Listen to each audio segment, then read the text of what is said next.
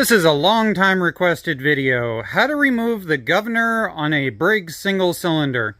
If the hood is correct, this is a 28 series Briggs. This is a mongrel engine that's been bounced around at my house on several different builds.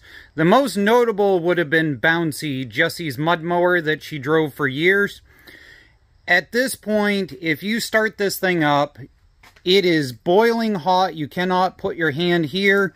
It is boiling hot. You cannot put your hand on the valve cover, which means there's probably about a 95% chance that it blew the head gasket. But these things are normal to do that. The other thing is, is what everybody does, is they put a 19 horsepower carburetor on, just like I did with this one, it gets a little bit more gas than it really honestly should. The gas eats down the side of the head gasket and it blows it out sooner. So, we're going to see if our copper head gasket that we got from SendCutSend fits this thing. Yep. You would never believe me, but that oil that is that black probably only has about 10 hours worth of runtime on it. Alright, this right here is your governor gear. And what everybody makes the mistake of doing is they go, oh, that's the governor. On every other engine, I just rip this out and I throw it off in the trash and I'm done. You can't do that on one of these Briggs because the governor is also part of your splash lube system. So this sits like this, which is currently the bottom of the engine flipped up. So if we take this and we come over here into the bottom of the engine and we flip this around, this is where it sits, splashing oil everywhere in the engine. So this piece you have to maintain, otherwise bad things will happen. So what you do is you grab a good old jackknife or razor blade or whatever and right here, you're going to see one looks like it has the head of a nail. And then the opposite for this side here. So what you have to do, preferably without taking your fingers off, is you cut that. And then you cut this one. And if you have a really old gear, sometimes this just plain doesn't work. So once you cut it, you can slide the pin and that takes the whole assembly off without having to monkey with anything. So we're going to do that again on the other side. We're going to cut that notch there. We're going to cut that notch there. We're going to flip it and push the pin. Pull that out. Drop that. And check that yours has a collar that is in place. See this collar here, this is pressed on. It will not move. Some of these have a collar that's over the top of a hog ring if they're a replacement from China.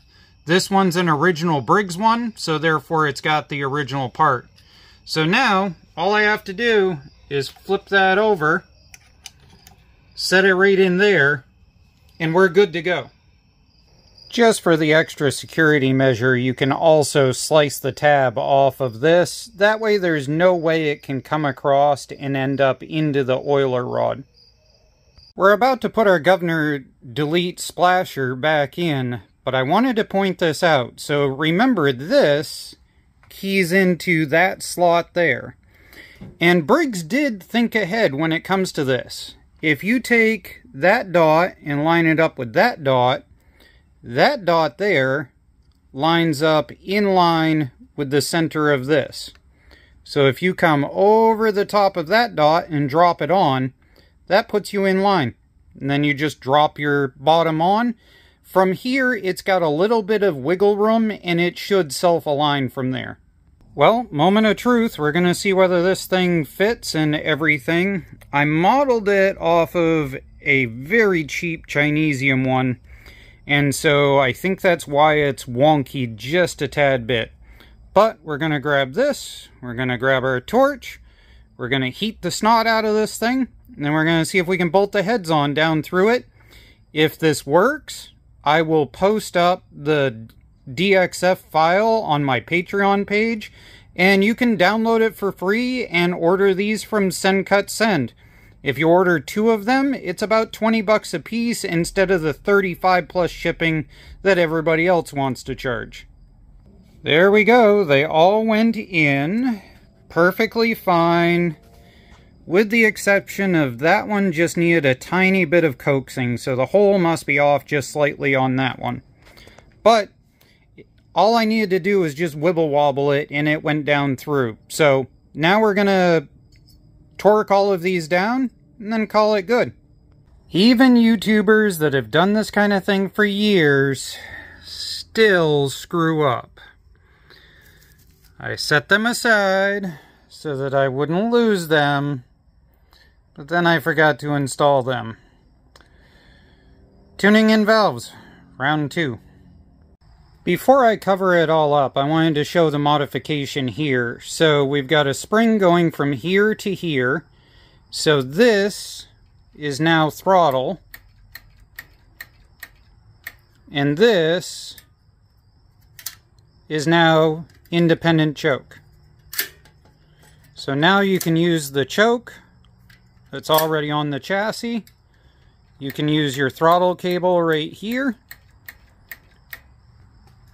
All set, ready to go.